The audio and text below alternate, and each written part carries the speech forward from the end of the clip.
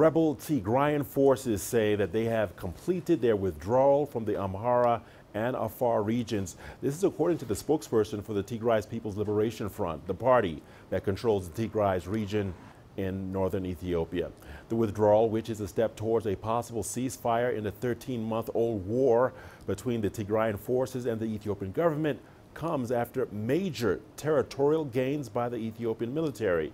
The Ethiopian government said today that almost all areas of Amhara region are free of rebels. All right, let's now take a look at the state of the war in Ethiopia. In, and in 2019, Prime Minister Abiy Ahmed emerged uh, several political parties. However, the Tigray People's Liberation Front refused to join the New Prosperity Party. In September 2020, Tigray conducted regional elections. This move defied the federal government that had postponed a national vote to 2021, citing COVID 19 disruptions. What followed were attacks on army bases in Tigray, which sparked retaliation from the national government that soon captured the capital Mekelle in late November.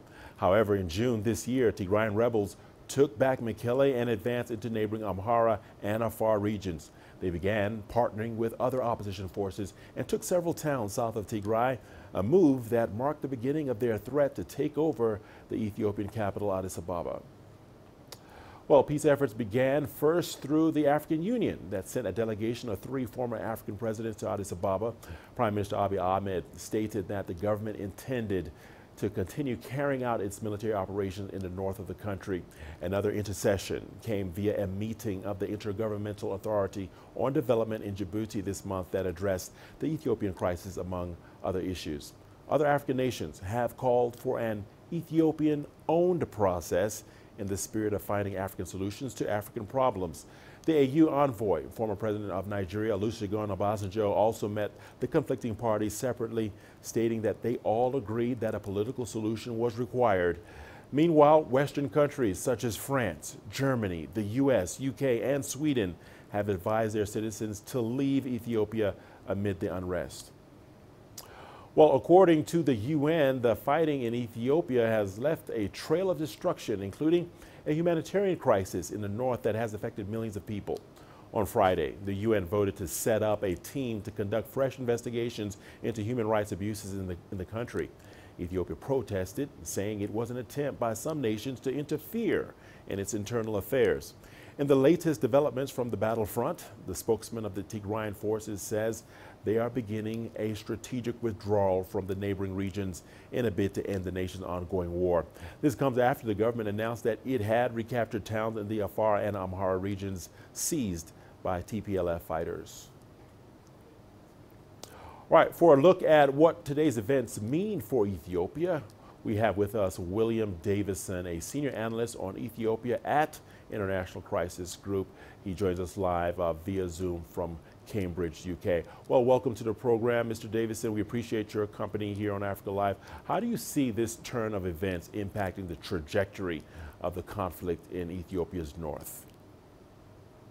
The conflict's been, um, yeah, to some extent, quite un un unpredictable with you know, major twists and, and turns in it. So it's, it's hard to say. But I think you know, what we do have is, um, you know, certainly for the foreseeable future, there will be no effort by the Tigray uh, leadership to try and you know impose a transitional government as they were planning to do or control the Djibouti road, uh, the main trade corridor. That looks off the agenda for now. Instead, because of these battlefield reversals, uh, because of the sort of popular mobilization, um, because of the drone strikes, which you know hit their stretched supply lines, they've retreated all the way to Tigray and they've made this sort of uh, peace offer. And that, that peace offer does include some significant elements in it, such as sort of taking off the table the issue of um, the return of, of Western Tigray, which was taken over by Amhara region at the beginning of the war, um, not listing that as a precondition. So it does at least seem like a, a you know, genuine effort to get a peace process going by the Tigray leadership. But after they've suffered, suffered these battlefield reversals and, and have been forced to withdraw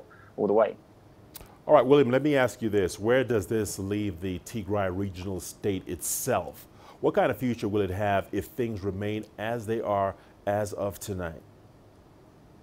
well, there's no there's no way things are going to remain um, as as they are. I mean, know, still Tigray is essentially under a blockade. There's just one humanitarian corridor going in, heavily restricted by the federal government. There's no federally provided services to Tigray, uh, electricity, banking, telecommunications. There's no trade going in. So it's a region which is in you know, serious problems. Um, so obviously, if that continues, um, it will be a, it continues to be a devastating situation for the people there. And I think you know, the fate of the region really depends um, you know, upon uh, this offer that the Tigray leadership has, has made for a cessation of hostilities. How is Prime Minister Abiy Ahmed going to respond to that? How is Ab- um, the Amhara government going to respond to that? Also, you know, how is President Isaias in, in Eritrea? Are people going to accept making a deal with the TPLF leadership, which might involve rehabilitating a political party which has been classified as a terrorist organization?